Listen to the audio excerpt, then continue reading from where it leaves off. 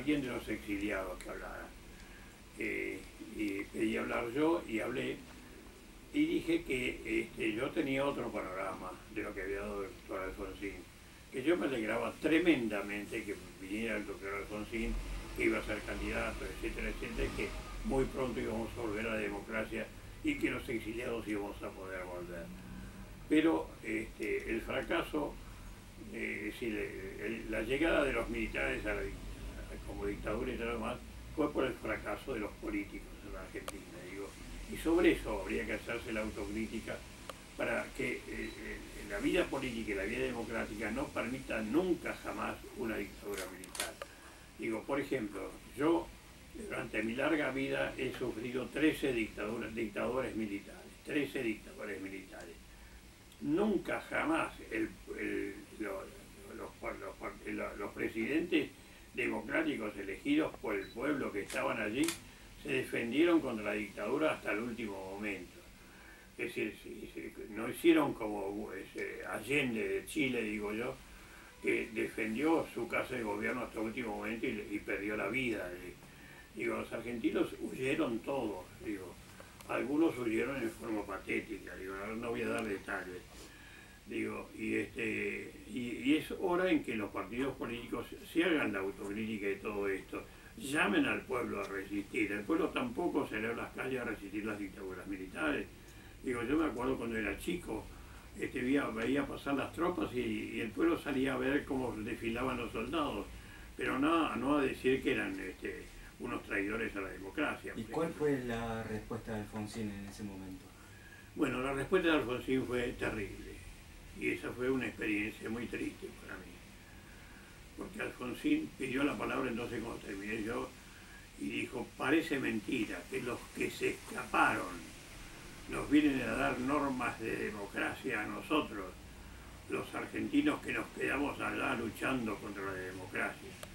Además miente, nosotros salimos a la calle para defender, defendernos contra las dictaduras, bueno, etcétera, etcétera. Este, y los, estaba lleno de estudiantes alemanes de Latinoamericanistic. Este, y entonces hubo un silencio después de la intervención tan, tan, eh, eh, en, forma, en forma a los gritos de Alfonsín, que el profesor alemán que dirigía el seminario dijo, eh, cuando terminó Alfonsín, dijo, bueno, yo voy a, aquí se ve que hemos entrado en un tema muy, muy difícil, Así que pido un cuarto intermedio, vamos a tomar un cafecito este, afuera y, este, y volver después y ordenar un poco lo que va a ser la discusión. Bueno, entonces yo sentí tanto dolor porque yo había dicho una cosa que, para que no, no contra Alfonsín ni contra sino para que hiciéramos la autocrítica porque los alemanes esperaban de nosotros autocrítica, porque ellos también habían tenido el problema del nacionalsocialismo, del, del nazismo, cómo es que Alemania había caído en ese régimen. Bueno, y después, por eso siguen siempre, siempre con la autocrítica los alemanes. Entonces yo quería decirle a los alemanes también que nosotros somos capaces de una autocrítica. Pero Alfonsín lo tomó muy a mal. Bueno, este, ¿Usted se sintió decepcionado por Alfonsín en aquel momento?